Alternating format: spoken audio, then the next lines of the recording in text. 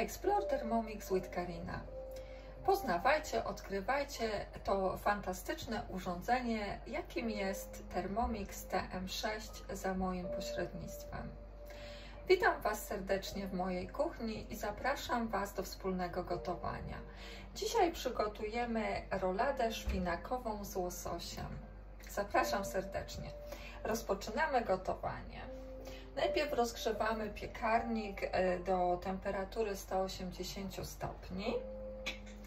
Następnie blachę wykładamy papierem do pieczenia. Ja już to uczyniłam. Najlepiej jak to jest e, większa blaszka, dlatego żeby ciasto miało większą powierzchnię i żeby nie było bardzo grube, a cieniutkie i łatwe do zwijania. Y, oddzielamy białka od żółtek i teraz będziemy ubijać białka. Przypominam Wam o właściwym umieszczeniu motel, motylka pomiędzy nożami.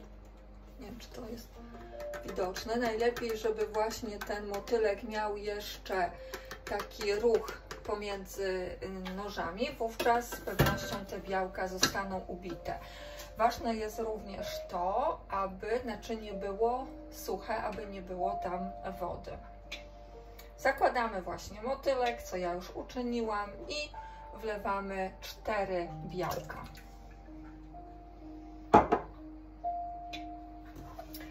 Zakładamy pokrywę z miarką i rozpoczynamy ubijanie białek przez minutkę 40 na obrotach 3,5. Pamiętacie, że e, do czwórki możemy ubijać piany z białek, czy też robić e, śmietanki, kremówki.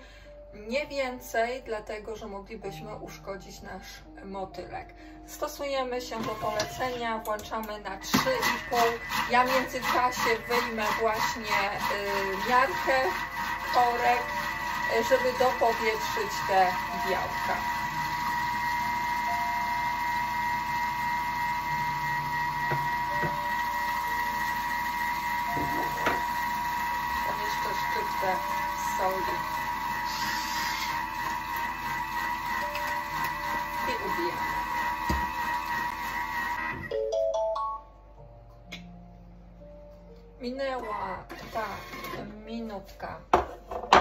40.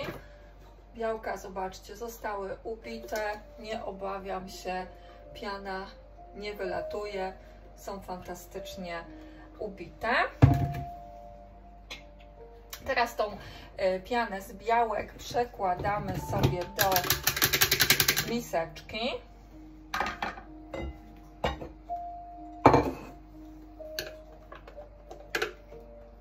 Także kochani, jeszcze raz przypominam Wam o tym, aby naczynie było zawsze suche.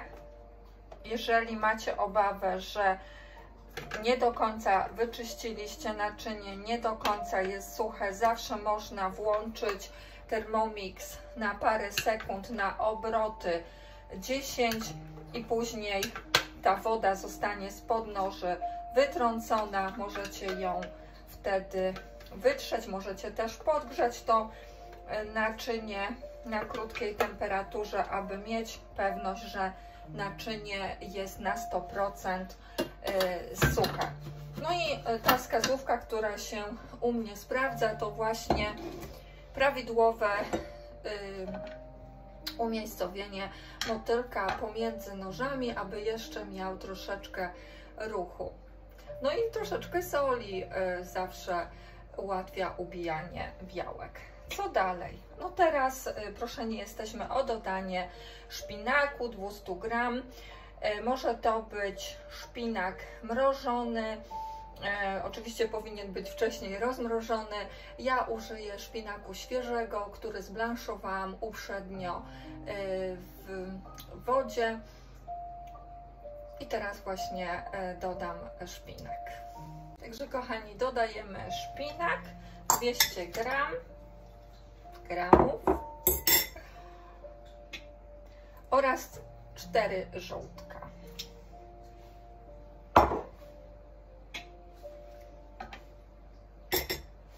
zamykamy. Pokrywa plus miarka. I teraz na obrotach 10 będziemy przez chwilkę miksować e, szpinak na gładki, dobrze rozdrobniony. Przez chwilę będzie głośno.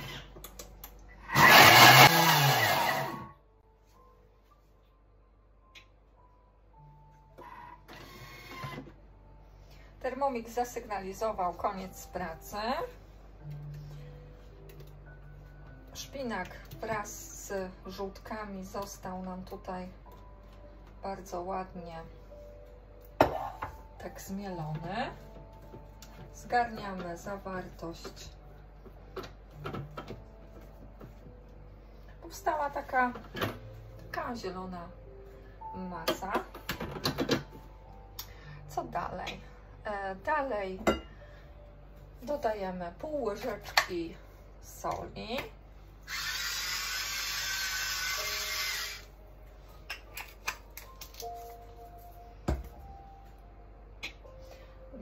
Dodajemy pół łyżeczki czarnego pieprzu.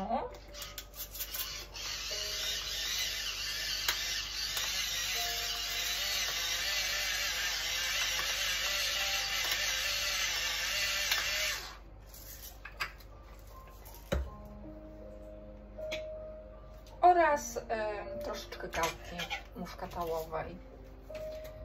Tutaj jest napisane, żeby dać jedną czwartą łyżeczki. Tam troszkę dla podkręcenia smaku. Ach, i jeszcze dodajemy jedną łyżeczkę soku z cytryny. Bezpośrednio, słuchajcie, to yy, wpłynie na kolor ciasta właśnie, że nie straci barwy, będzie taki soczysty. Zakładamy miarkę z pokrywą i teraz mieszamy przez 15 sekund. Obroty 3.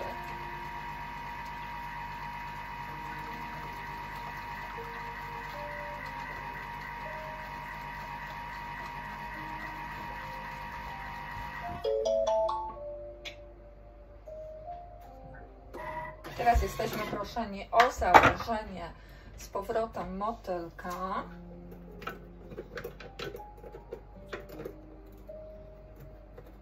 Pamiętacie, ja go wkładam tak jak Wam tłumaczę, dlatego że teraz dołożymy sobie właśnie pianę z y, uprzednio ubitych y, białek i będziemy to jeszcze przez chwilkę miksować przy użyciu motylka, tak żeby nam to tak fajnie to ciasto napowietrzyło. Tak, będziemy go przez chwilkę po prostu ubijać na obrocie 2 przez 10 sekund.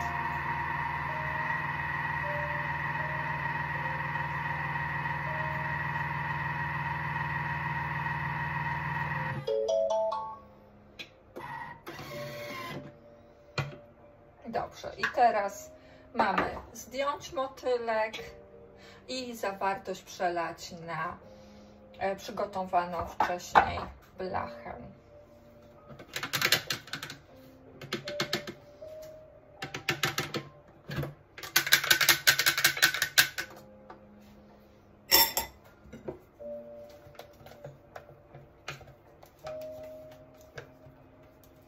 Kochani, tak prezentuje się e, nasza masa i ja ją teraz e, przetransferuję na blachę.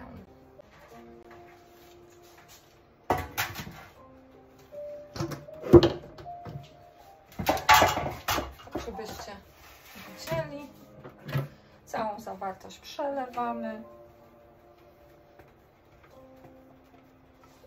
Nie wiem, czy to dobrze widać.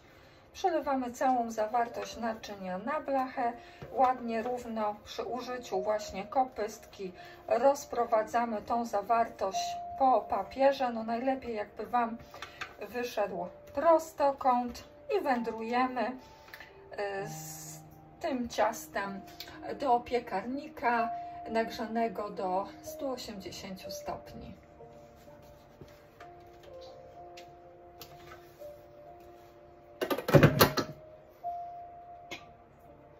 Tak, właśnie tutaj jeszcze mamy taką informację, że blacha powinna mieć wymiary 30 na 37 cm i e, ciasto będziemy piekli w temperaturze 180 stopni przez 12 e, minut.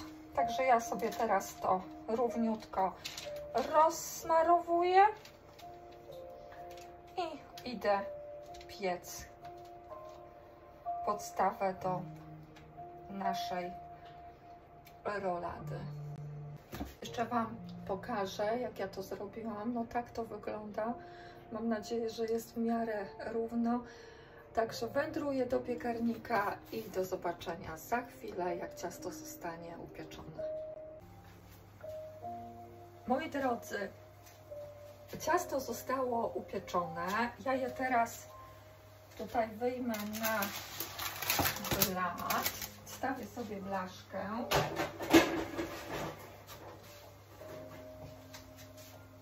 I proponuję Wam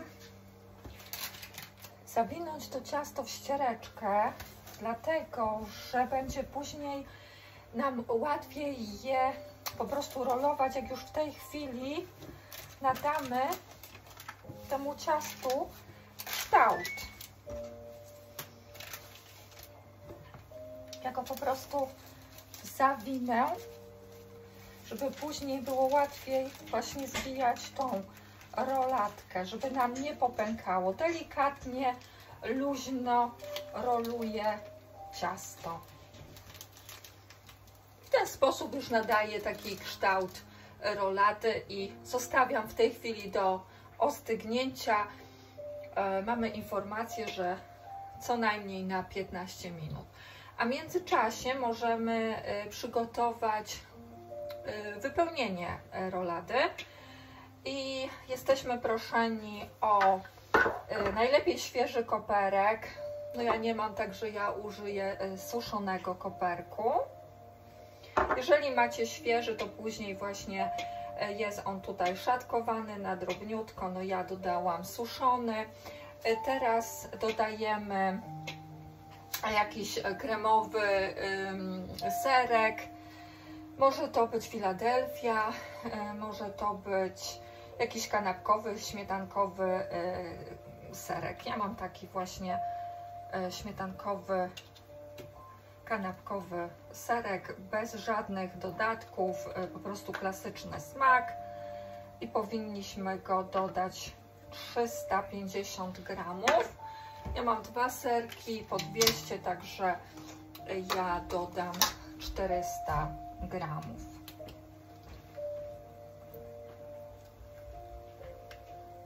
dodajemy serek i 20-25 e, e, gramów chrzanu tartego.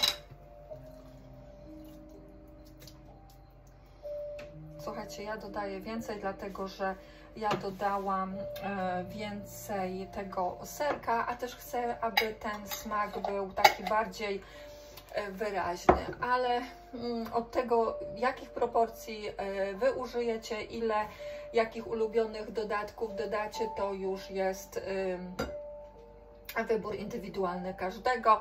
Ja w związku z faktem, że miałam więcej serka, dodałam więcej e, chrzanu, także nawet jeżeli będziecie dodawać ten koperek świeży, to też na pewno ten smak będzie taki bardziej E, wyrazisty. Ja mam suszony, w związku z czym takich e, proporcji mm, e, użyłam. Teraz miksujemy to przez 15 sekund na jednolitą fajną masę.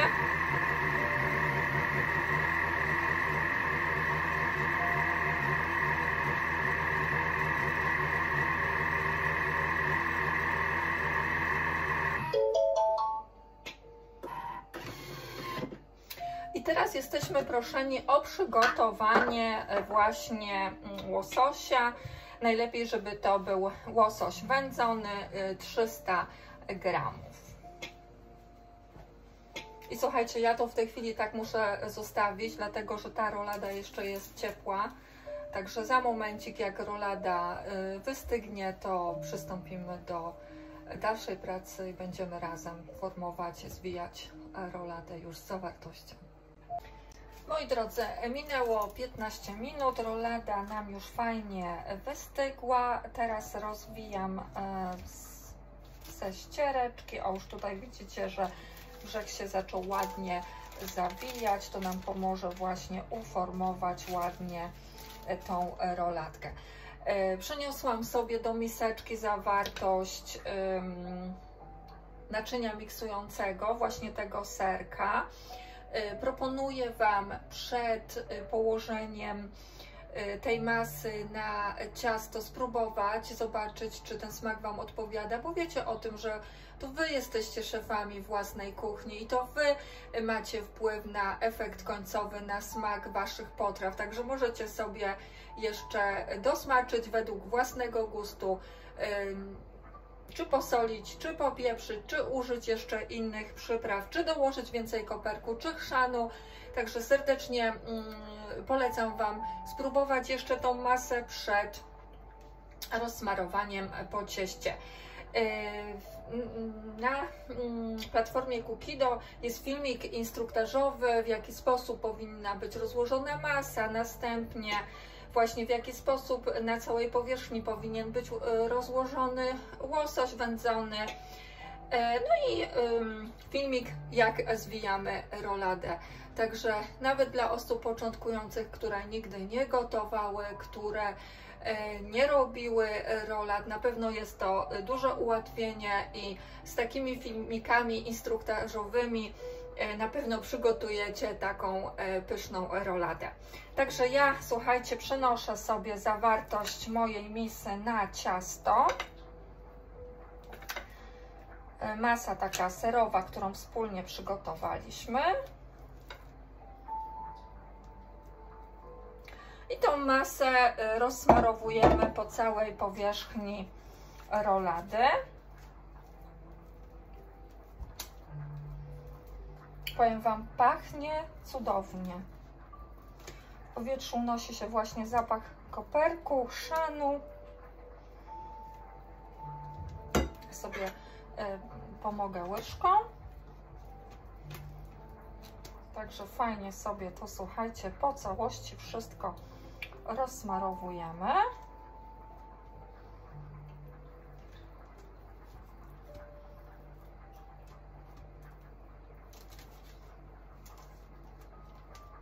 Właśnie tutaj na początku możemy nałożyć więcej serka. To tak jak przy formowaniu każdego innego e, rodzaju rolat. Podobnie postępowaliśmy z roladą makową, prawda? Dobrze. Rozsmarowałam po całości e, ten serek. Jeszcze tutaj możemy wszystko dokładnie zebrać z kopystki tak i teraz będziemy sobie układać y, na całości właśnie y, łososia wędzonego. Ja przyniosłam go na talerzyk, bo y, po prostu te plastry były dobrze ze sobą razem połączone, także łatwiej było mi wcześniej je rozdzielić. I słuchajcie, układamy na całości właśnie nasze płaty.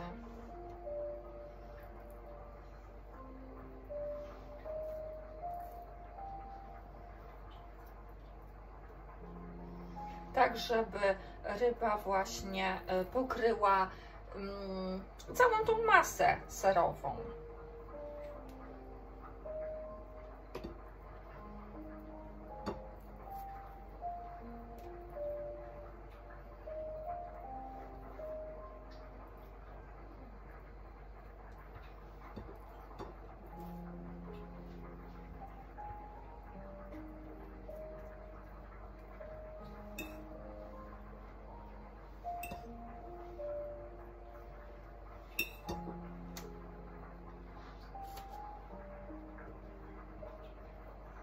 Dobrze by było właśnie, żeby nam tutaj nie było żadnych pustych miejsc. Właśnie może mogłam wcześniej tą rybkę bardziej podzielić. drobniejsze może kawałeczki. No dobrze, mniej więcej. Słuchajcie, cała e, rolatka została pokryta tą rybą. I teraz będziemy już rolować. Także zawijamy naszą rolatkę.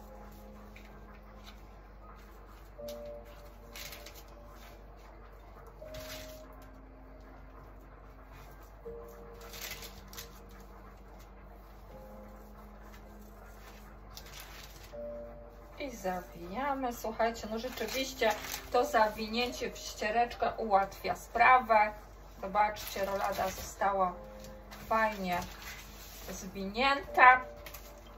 I teraz mamy informację, aby ciasto dobrze zwinąć i e, szczelnie zawinąć je w folię aluminiową oraz odstawić do lodówki na y, dwie godzinki. Także ja to, słuchajcie, zrobię. Teraz zawinę rolatkę właśnie w folię aluminiową i odstawię do lodówki, żeby nam stężała, żeby później było ją y, łatwo kroić.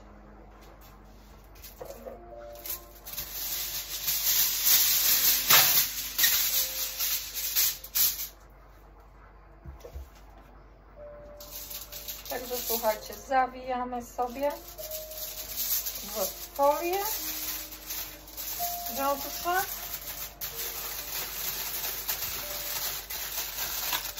Robimy taki batonik. I z takim batonikiem wędruję w tej chwili do lodówki na te dwie godzinki i później zaprezentuję Wam, jak rolada wygląda w przekroju.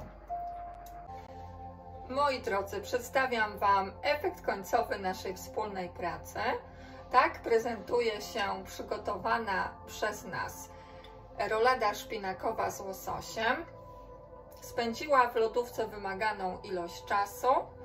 E, mamy informację, iż rolada powinna być krojona w 1,5 cm plastry i w takie też polecam Wam ją kroić i podawać jako przystawkę.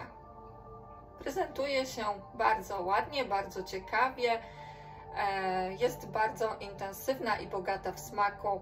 Serdecznie polecam Wam korzystanie z tego przepisu i przygotowywanie takich wytrawnych przystawek.